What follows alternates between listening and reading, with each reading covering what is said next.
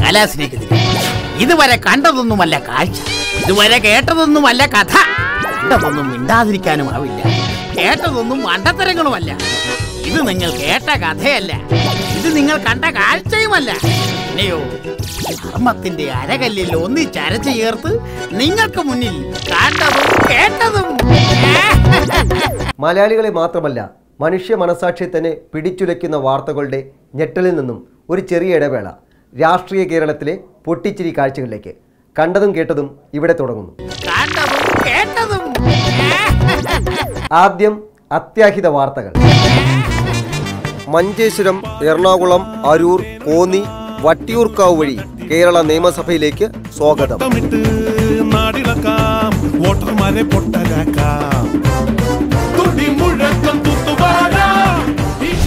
ഹാവു ഇങ്ങനെ തള്ളിക്കയറ്റിയിരുന്നെങ്കിൽ ചെന്നിത്തലച്ചേട്ടൻ എന്നേ കേരളത്തിന്റെ മുഖ്യമന്ത്രിയായേനെ.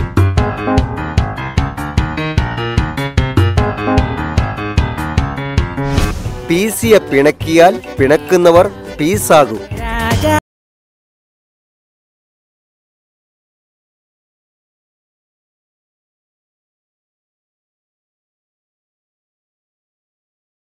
ആവേശവും ആഘോഷവും നെഞ്ചിലേറ്റുവാങ്ങി. കേരള നിയമസഭയിലെ പ്രവേശനോത്സവത്തിലേക്ക് അവർ അഞ്ചു പേർ കടന്നു വന്നു. ഉപതെരഞ്ഞെടുപ്പിൽ ജയിച്ച് ആദ്യമായി എം എൽ എ ആകുന്ന അഞ്ചു പേർ. വട്ടിയൂർക്കാവിൽ നിന്ന് നീല കുപ്പായമൊക്കെ ഇട്ട് നമ്മുടെ V K P V K Prashanth. കോന്നിയിൽ നിന്ന് നീളൻ വരെയുള്ള കുപ്പായമിട്ട് കെ യു ജനീഷ് കുമാർ. കൊച്ചിയിലെ വെള്ളക്കെട്ടിൽ ഒലിച്ചു പോകാത്ത തൂവള്ള കതർക്കുപ്പായമിട്ട് ടി ജെ വിനോദ്. തട്ടമിട്ട് കന്നഡ വെച്ച് നമ്മുടെ പ്രിയപ്പെട്ട ഷാനിമോൾ ഉസ്മാൻ. തീർന്നില്ല. കന്നഡ പ്രസംഗവുമായി സഭയെ കയ്യിലെടുത്ത മഞ്ചേശ്വരത്തെ കമറുദ്ദീൻ സാഹിബ് ഇവരുടെ പ്രവേശനോത്സവ കാഴ്ചകളിലേക്ക് തെരഞ്ഞെടുപ്പിന്റെ ആവേശ വഴികളിലൂടെ ഒരു മടക്കയാത്ര. അഞ്ചാണ്ട് ഭരിക്കാൻ അച്ചാരം വാങ്ങിച്ചിട്ട് നെട്ടോട്ടം തുടങ്ങിയല്ലോ. നാടാകെ കലങ്ങിയല്ലോ.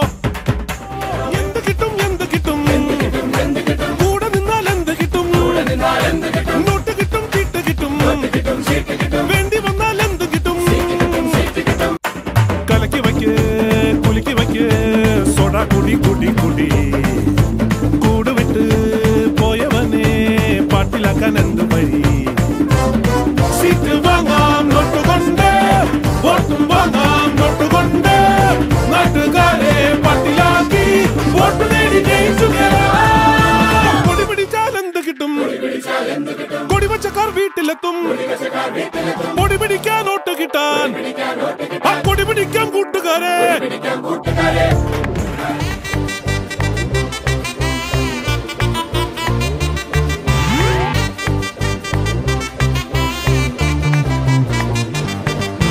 പാലൊഴുക്കാം തേനൊഴുക്കാം എന്നു ചുമ്മാ തട്ടിവിട.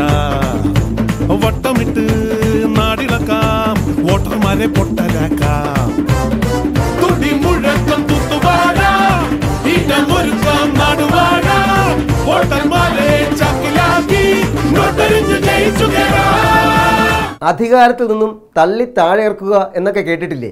ഇത് അധികാര കസേരയിൽ നിന്നല്ല നമ്മുടെ പ്രിയപ്പെട്ട പ്രതിപക്ഷ നേതാവിനെ. അദ്ദേഹം പങ്കെടുത്ത ഒരു ചടങ്ങിന്റെ വേദിയിൽ നിന്ന് ചാനൽ ക്യാമറകൾക്ക് മുന്നിലേക്ക് അക്ഷരാർത്ഥത്തിൽ തള്ളി താഴെ ഇറക്കുകയായിരുന്നു അദ്ദേഹത്തിന്റെ തന്നെ പാർട്ടിക്കാരായ ഗാന്ധി ശിഷ്യന്മാർ.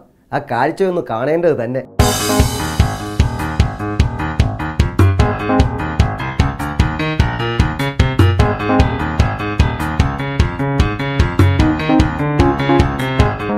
നിങ്ങളൊക്കെ അങ്ങനെ കൂടി നിന്നാലോ? സഹായിക്ക് അല്പം കാറ്റ് കിട്ടലാന്ന് ഒന്ന് മാറി മാറിക്കൊടുക്കും ആ മാറു. മാറു.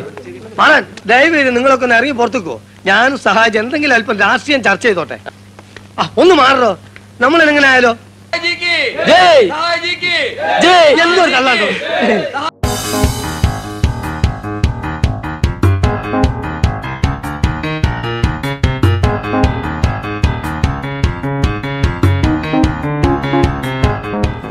ആശാൻ മുമ്പേ നടക്കും. ശിഷ്യ പിറകെ നടന്നാ മതി. എന്താണ് ബളഹം അല്ല ബഹളം. ബാക്കിലോട്ട് നിക്കി. വളരെ വളരെ ഗുരുതരമായ പ്രശ്നമാണ്.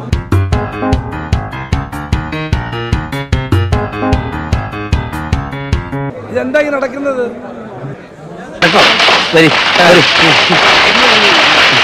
ഇതെന്തായി നടക്കുന്നത്? ഇതെന്തായി നടക്കുന്നത്? ഇതാണ് അഖിലേന്ത്യാ തലം മുതൽ ഇങ്ങറ്റം മണ്ഡലം കമ്മിറ്റി വരെ കോൺഗ്രസിന്റെ അവസ്ഥ. വിളിക്കാതെ കല്യാണത്തിന് വരുന്ന പോലെ ടെലിവിഷൻ ഫ്രെയിമിലേക്ക് ഇടിച്ചു കയറി നിൽക്കും നമ്മുടെ ഗാന്ധി ശിഷ്യന്മാർ. കൂട്ടത്തിൽ എത്രയോ ഭേദമാണ് സി പി ഐയും സി പി ഐ എമ്മും. ആലപ്പുഴയിൽ പുന്നപ്ര വയലാർ രക്തസാക്ഷി ദിനാചരണ ചടങ്ങിൽ പാർട്ടി അച്ചടക്കം പാലിച്ചുകൊണ്ട് അണികൾ വരുന്നത് ഒന്ന് കാണേണ്ടത് തന്നെ.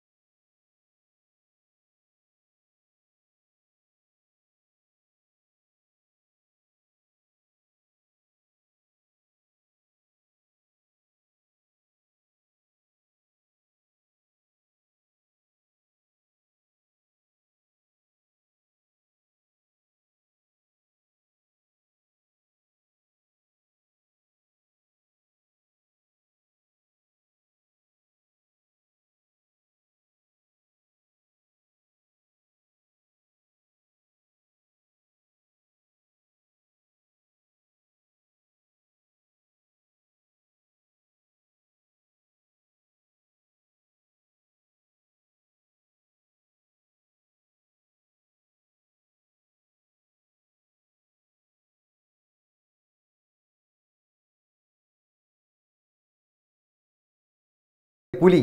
നമ്മുടെ പി സി ജോർജ് അച്ച ഇല്ലെങ്കിൽ പിന്നെ ആക്ഷേപഹാസ്യ പരിപാടി നടത്തുന്ന ഞങ്ങൾക്കൊക്കെ എന്താണ് ഒരു ആഘോഷം? ഒരു പൂവ് ചോദിച്ചാൽ അദ്ദേഹം ഒരു പൂക്കാലമല്ലേ വാരി വിതറുന്നത്?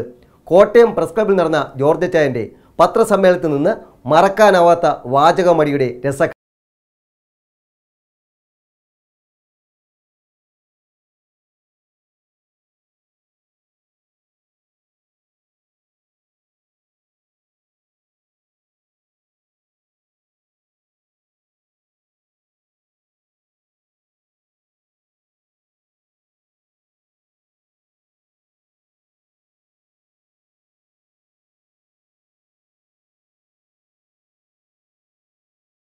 P C George. പത്രസമ്മേളനം എത്തിക്കഴിഞ്ഞ് സമ്മേളനം നടത്തി ഉടൻ കടന്നു പോവുകയല്ല. മറിച്ച് പരിചയമുള്ള പത്രക്കാരൊക്കെ പേരെടുത്തു പറഞ്ഞ് കുശലം പറയുക അവരുടെ തോളിൽ തട്ടി സൗഹൃദം പങ്കിടുക ശരിക്കും ഒരു മാതൃകാ പുരുഷൻ തന്നെ.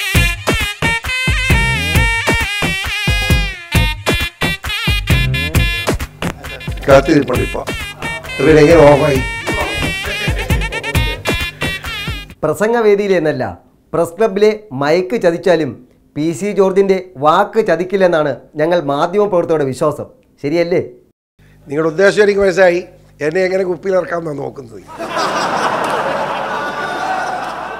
മാധ്യമങ്ങൾ മനസ്സ് വെച്ചാലും താങ്കളെ ഇറക്കാൻ പറ്റിയ പാകത്തുള്ള കുപ്പിയും ഡപ്പിയൊന്നും ഈ കൊച്ചു കേരളത്തിലില്ല അച്ചായ. പാലായിലെ പല മുതൽ പാലക്കാടിലെ സിനിമാ മേനോനെ വരെ ചോദിച്ചാൽ ഒറ്റയടിക്കല്ലേ അങ്ങ് ഉത്തരം പറയുന്നത്. ഇത്തവണയും അതുണ്ടാകുമോ ഈ വാർത്ത എല്ലാം കൂടെ എങ്ങനെ നിങ്ങൾ കൊടുക്കും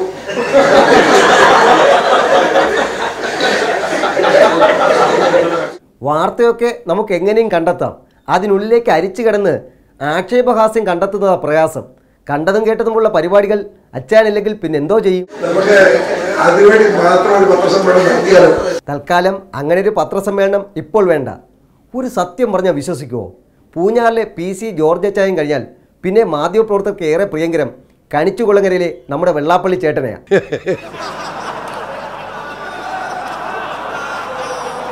പാവ.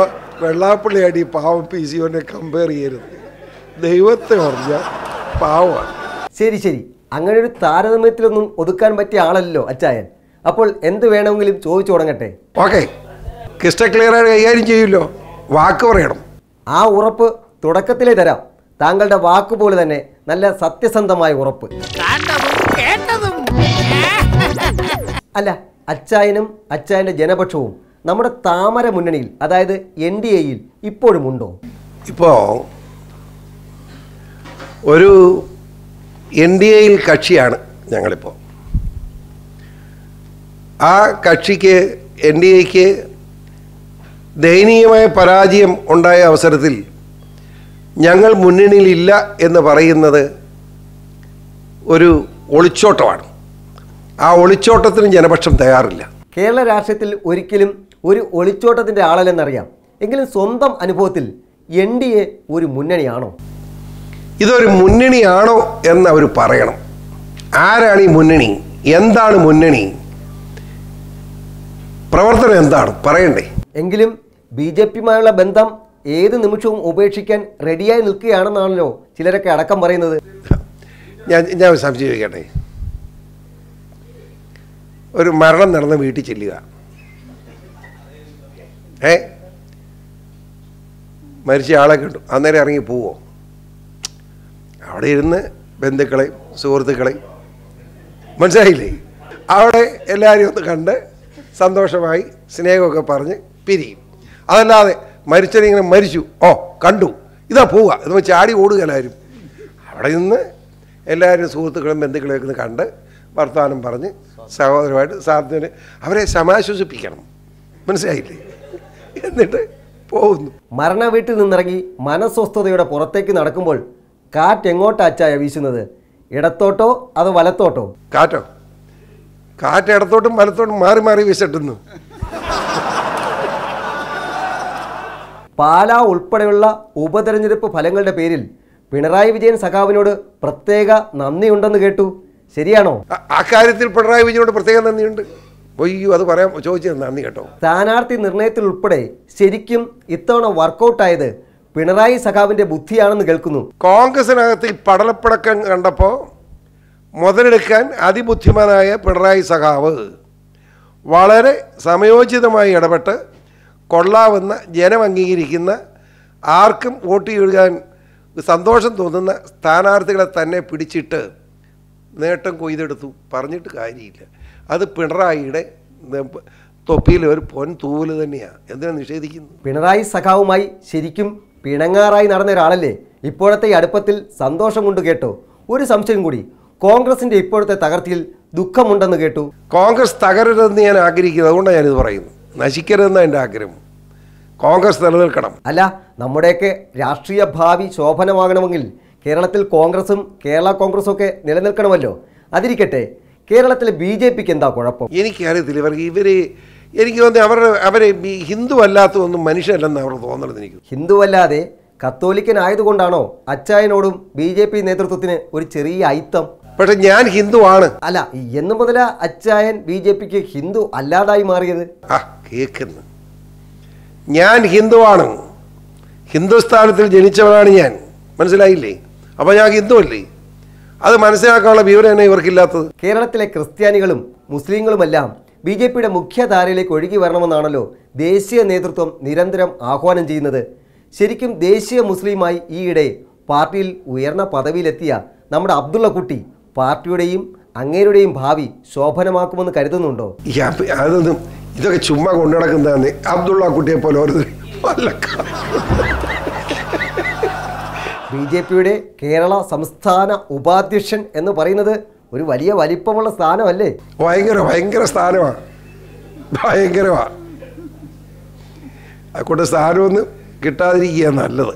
ഇനി അച്ചായനെ ഒരല്പം വെള്ളം കുടിപ്പിക്കുന്ന ഒരു ചോദ്യം. ഏതാ? ബി ജെ പി രക്ഷിക്കാൻ പാർട്ടിയുടെ കേരള സംസ്ഥാന അധ്യക്ഷനാകാൻ ഒരു സമ്മർദ്ദമുണ്ടായാൽ? എനിക്ക് മെമ്പർഷിപ്പ് ഇല്ല. ഞാൻ പല പ്രാവശ്യം നിങ്ങളോട് പറഞ്ഞിട്ടുണ്ട്. അറിയാതെ ചെയ്യുന്ന ഒരു മിസ് കോളിലൂടെയെങ്കിലും അങ്ങയെ ബി ജെ പിയിൽ അംഗമാക്കുവാൻ ചിലർ ഗൂഢനീക്കം നടത്തുന്നുണ്ടെന്ന് കേട്ടു. ഈ ബി ജെ പിയുടെ നേതാക്കന്മാരുടെ പ്ലാൻ ഇരിക്കുന്നേ ഈ എല്ലാം ബി ജെ പി ആകണം. നമ്മ വേണം എനിക്ക് മെമ്പർഷിപ്പ് തരാമെന്നുള്ള പ്ലാനിൽ അവർ നിൽക്കുന്നത്. മനസ്സിലായില്ലേ? മനസ്സിലായി മനസ്സിലായി. എങ്കിലും കേരളത്തിലെ ബി ജെ പിയെ ഇപ്പോഴത്തെ പരാജയത്തിന്റെ പടുകുഴിയിൽ നിന്ന് കൈപിടിച്ച് കയറ്റാൻ സംസ്ഥാന അധ്യക്ഷനായ ഒരു പുതിയ നിയോഗം താങ്കൾക്ക് കിട്ടിയാലോ? ഇതൊക്കെ ദോഷേതൃക്കളുടെ കുശുമ്പിന്റെ ഭാഗമാണ്. അയ്യോ അങ്ങനെ ഞങ്ങൾ മാധ്യമ പ്രവർത്തകരെ തെറ്റിദ്ധരിക്കല്ലേ? എങ്കിലും കേരളത്തിൽ ബി ജെ പിയെ നയിക്കാൻ പൂഞ്ഞാറിൽ നിന്നൊരു പുലിക്കുട്ടിയെ ആ പാർട്ടിയിലുള്ളവർ തന്നെ പ്രതീക്ഷിക്കുന്നുണ്ട് കേട്ടോ. പക്ഷേ ഞാൻ പറയട്ടെ നിങ്ങൾ നല്ല ബുദ്ധിമാന്മാരായ മാധ്യമ സുഹൃത്തുക്കളാണ്. നിങ്ങൾ എന്നിൽ നിന്ന് നിങ്ങൾ ആഗ്രഹിക്കുന്ന ഉത്തരം കിട്ടാൻ വേണ്ടി ഇതിൽ കൂടുതൽ നിങ്ങൾ എന്നെ പ്രകോപിപ്പിക്കുമെന്ന് എനിക്ക് നല്ലവണ്ണം അറിയാം. അത് നിങ്ങളെ അത് നിങ്ങളുടെ ജോലിയാണ്. ആ ജോലി നല്ല ജോലിയായി നിറവേറ്റണമെങ്കിൽ നിങ്ങളെപ്പോലുള്ളവർ ഉള്ളു തുറന്ന് എന്തെങ്കിലും പറഞ്ഞല്ലേ പറ്റൂ? അതിരിക്കട്ടെ ഇക്കഴിഞ്ഞ ഇലക്ഷൻ കാലത്ത് പ്രസംഗത്തിന് വേണ്ടി താങ്കളെ ചുമന്നു കൊണ്ടുപോയ രസകരമായ അനുഭവം ഉണ്ടെന്ന് കേട്ടല്ലോ. ഒന്ന് പറയാമോ? പ്രസംഗിക്കാൻ കൊണ്ടുവന്ന രസമാണ് അവിടെ പത്ത് മനുഷ്യരുള്ളിടത്തൊന്നും പ്രസംഗിപ്പിക്കല എന്നെ വലിച്ചു ചോന്ന് മഴ മുകളിൽ കൊണ്ടുപോയിട്ട് പ്രസംഗിച്ച് ഞാൻ പ്രസംഗിച്ച ആളെ സംഘടിപ്പിക്കുക. ചിരിച്ചുപോയി.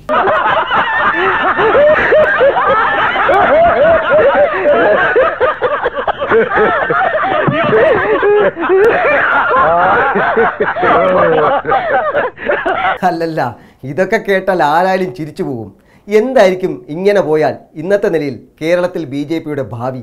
ഈ നിലയിലൊക്കെ ബി ജെ പി പോകുന്നതെങ്കിൽ പിന്നെ അത് കേന്ദ്ര നേതൃത്വം ഇവന്മാരെ ഉപേക്ഷിച്ചാന്ന് എനിക്ക് തോന്നുന്നു.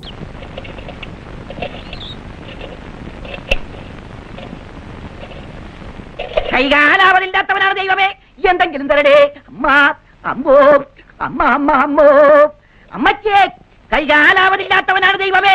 ഈ പാവപ്പെട്ടവരെന്തെങ്കിലും തരടേ അമ്മ അമ്മ അമ്മ അമ്മ അമ്മ. കൈകാലാവതില്ലാത്തവനാണ് ദൈവമേ. എന്തെങ്കിലും തരടേ അമ്മ അമ്മോ അമ്മ അമ്മുമ്മോ. ചില്ലറയില്ലേ ചില്ലറ തരാം. ഒരു ആന്റിക്കാപ്പിടാണ് ദൈവമേ. അമ്മോ എന്ത്? എന്തെങ്കിലും ചെവി തല കേൾക്കുന്നില്ലേ? ചെവി കേൾക്കാം. തല കേട്ടൂടാ. അതെങ്ങനെ കേൾക്കും ഒരുത്തനോട് അമ്മ അമ്മ എന്ന് അലറ വിളിച്ചോണ്ടിരിക്കല്ലേ? അത് തന്നെയാ പറഞ്ഞത്. എന്തെങ്കിലും കൊടുത്തു വിട്. പാരലൽ കോളേജ് ഒന്നും ഇപ്പൊ വലിയ ലാഭത്തിലല്ല. എന്റെ കയ്യിൽ കൊടുക്കാൻ പൈസ ഒന്നുമില്ല. എടാ എന്റെ ആ മേശക്കാളും എടുത്ത് കൊടുത്തു വിടാ ചേട്ടോ ഈ പാവപ്പെട്ട പിച്ചക്കാരന് എന്തെങ്കിലും ഡൊണേഷൻ തരണേ അമ്മ. അമ്മ അമ്മ അമ്മ അമ്മോ. നിർത്ത് പാട്ട് നിർത്ത്. അമ്മുമ്പോ? ഇല്ലമ്പോ അല്ല പിന്നെ ഇതന്നെ ഇങ്ങനെ ഈ അമിത്ഷാജിയൊക്കെ വലിയ സർവരാ വല്ലഭന്മാരാണെന്നൊക്കെയാണല്ലോ പറയുന്നത്. പിന്നെ മോഡിജി അദ്ദേഹം ഇതെല്ലാം നോക്കിക്കാണുന്ന ആളാന്നാ പറഞ്ഞത്. പിന്നെ എന്നെ ഈ കുഴപ്പം. അത് അവരുടെ കുഴപ്പമല്ലെന്നേ. എന്നെ തല്ലണ്ട അമിത്ഷാ അമ്മാവ. ഞങ്ങൾ നന്നാവില്ലെന്ന് ഇവിടുത്തെ ബി ജെ പിക്കാർ നെഞ്ചിൽ കൈവച്ചു പറഞ്ഞാൽ പിന്നെ ദില്ലിയിലെ അമ്മാവന്മാർ എന്തോ ചെയ്യാനാ? മനസ്സിലായി? എൺപത് മുതൽ എം എൽ എ പണിയും കൊണ്ട് നടക്കുന്ന എന്റെ അനുഭവം ബി ജെ പി എടുത്ത് കൊടുത്തപ്പോഴുള്ള എന്റെ അനുഭവം ഞാൻ നിങ്ങളോട് പറഞ്ഞത്. കേരളത്തിൽ ബി ജെ പിയുടെ താമര മുന്നണിയിൽ പി സി ജോർജ് അച്ചായനെ പോലെ മറ്റൊരു അച്ചായൻ കൂടിയുണ്ടല്ലോ പി സി തോമസ് അച്ചായൻ. എന്തായി അങ്ങേരുടെ അവസ്ഥ? പി സി തോമസ് പാവത്തിന് എനിക്ക് അറിയാം. പാവം ഒരു എന്റെ ഒരു മാർഗം എന്ന് വെച്ചാൽ ഒരു മാർഗം ഒരു ഒരു നൂറ് ഇത് കൂട്ട് നമ്മുടെ താമര പൂവായിട്ട് തിരുവനന്തപുരത്ത് പോയിരുന്ന വെച്ച് ആഫീസിൽ പോയി വഴിയെ പോകുന്നവർക്കെല്ലാം ഓരോന്ന് കൊടുത്തിട്ടു. ആ പൂ കൊടുക്കുന്നതിന് നന്ദി പോലും എന്താ തോമാച്ചാന്നൊന്ന് ചോദിക്കാൻ ഒരു ബി ജെ പിക്കാരനും കിട്ടിയില്ല. അവസാനം ഒരു ഗതിയില്ലാതെ അവിടുന്ന് ഇറങ്ങി പുള്ളി സ്ഥലം വിട്ടു. ഇതാണ് അങ്ങേരുടെ അനുഭവം. ശരിക്കു പറഞ്ഞാൽ ഒരു തട്ടിക്കൂട്ട് സംവിധാനം. അതല്ലേ കേരളത്തിലെ എൻ ഡി എ മുന്നണി? തട്ടിക്കൂട്ട് സംവിധാനം എന്ന് പറഞ്ഞ സുഹൃത്തിനോട് നന്ദി. കറക്റ്റാണത് ദീപാവലി കഴിഞ്ഞിട്ടും ഒട്ടും നനഞ്ഞു കുതിരാത്ത ഇത്രയും വാചക പടക്കങ്ങൾ ഞങ്ങൾക്ക് സമ്മാനിച്ചതിന് ഹൃദയം നിറഞ്ഞ നന്ദി. അപ്പോൾ പി സി ജോർജ് അച്ചായൻ ഈ പരിപാടിയുടെ ഐശ്വര്യം ഇനിയും വരണം വീണ്ടും കാണണം. പുതിയ വിശേഷങ്ങളുമായി കണ്ടതും കേട്ടതും വീണ്ടും അടുത്ത ദിവസം.